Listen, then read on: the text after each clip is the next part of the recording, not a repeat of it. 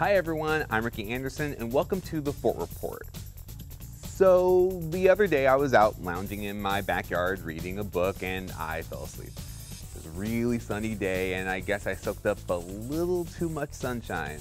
Anyhow, later that night I went to the Lanterns in the Garden exhibit at the Botanic Garden and I made an interesting discovery about myself.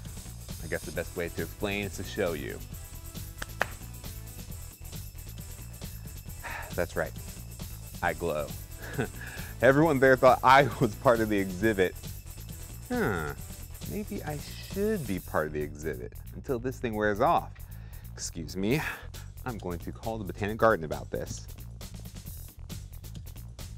Yes, you know I was the guy glowing.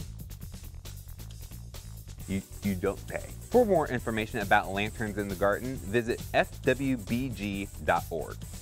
Here is a look at other events happening in and around Fort Worth in the next few weeks.